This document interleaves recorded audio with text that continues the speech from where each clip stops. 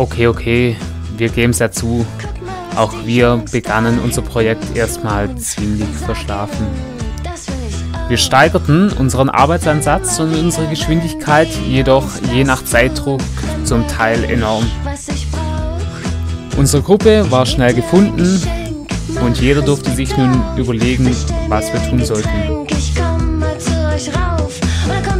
Beim nächsten Gruppentreffen trugen wir zusammen.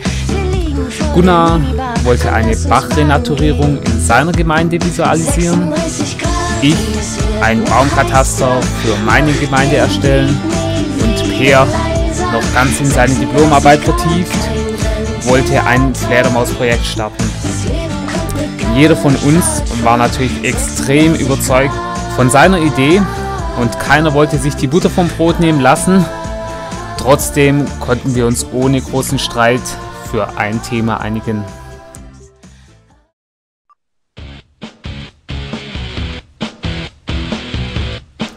Wir versprachen uns von der Fledermaus-Sache ein großes Potenzial und wählten deshalb Idee 3.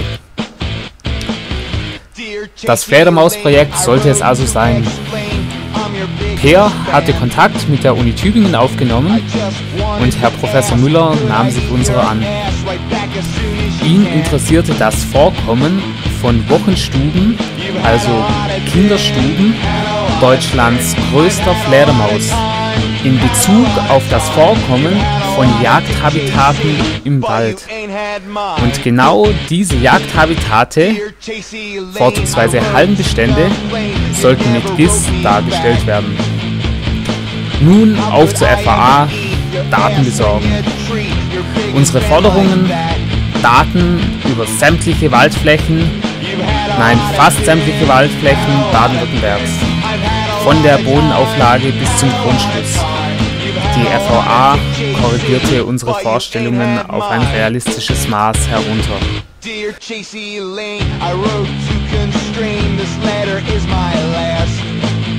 Zum Schluss gab es von drei statt 200 Standorten Daten und leider nur vom Staatswald. Aber immerhin, in der Zwischenzeit waren wir realistischer geworden.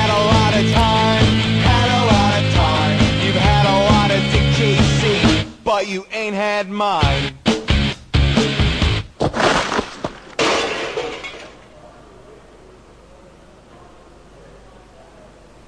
Hier zeigt uns Herr Professor Müller die Wochenstube in Gülstein.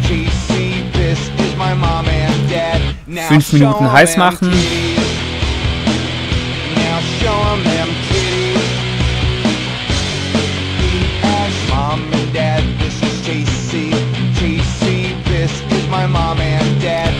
Eine Minute Gänsehaut.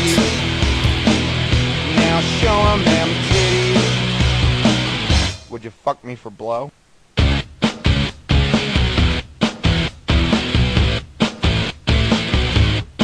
Alles für diesen Moment.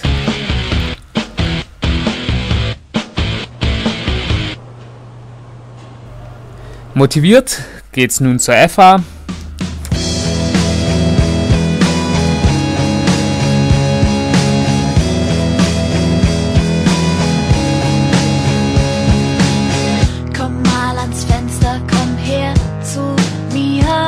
noch ein bisschen recherchieren.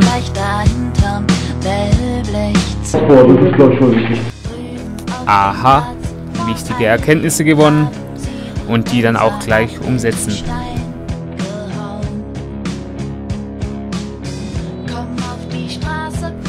Noch ein bisschen konvertieren, reklassifizieren und exportieren. Schnell noch eine Homepage und ein Poster erstellt die Präsentation durchgesprochen und schwupps, fertig das alles.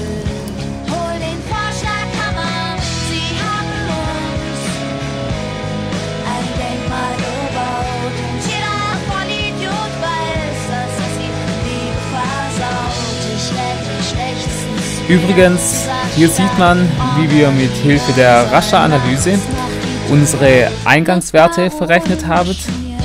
Der hellgrüne Bestand wurde durch neu hinzugerechnetes Totholzvorkommen aufgewertet und ist jetzt dunkelgrün.